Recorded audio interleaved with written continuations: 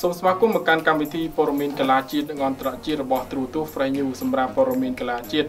FFC បានប្រកាសពីការចុះឈ្មោះចូលរួមជើងឯកអ៊ុយ13ឆ្នាំនេះ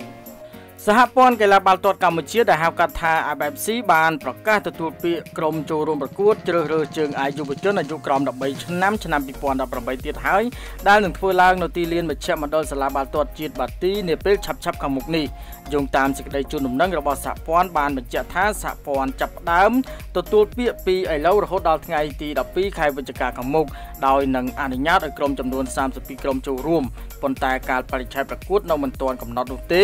ដោយសហព័ន្ធនឹងធ្វើការជូនដំណឹងតាមក្រោយទៀតក្រឡេកមកចាប់អារម្មណ៍លក្ខខណ្ឌចូលរួមវិញក្រុមនីមួយៗត្រូវជាក្រុមតំណាងខេត្តទាំង24និងរាជធានីក៏ដូចជាក្រុមស្ថិតក្រោមគម្រោងអភិវឌ្ឍរបស់សហព័ន្ធ ក្រុមយុវជនមកពីសមាជិកសហព័ន្ធក្រុមតំណាងសមាគមស្ថាប័នអង្គការសង្គម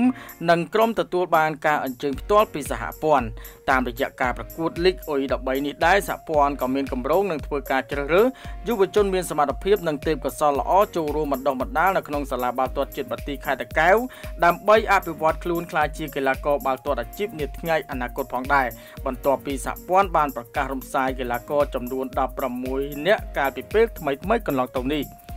សូមបញ្ជាក់ផងដែរថានេះគឺជាការប្រកួតក្នុងកម្មវិធីស្វែងរកយុវជនថ្នាលរបស់កម្ពុជាហើយកម្មវិធីព័ត៌មានកីឡាមួយនេះឧបត្ថម្ភដោយ Safe Home Technology